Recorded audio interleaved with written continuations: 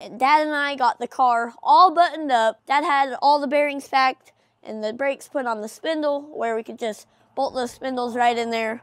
Went on like a charm.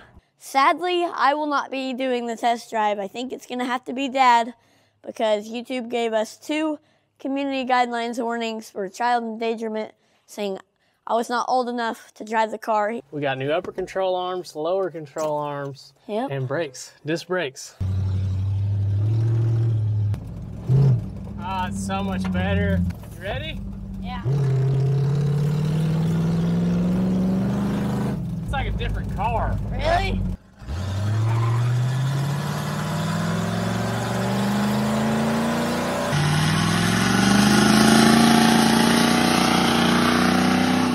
That was a pretty good one.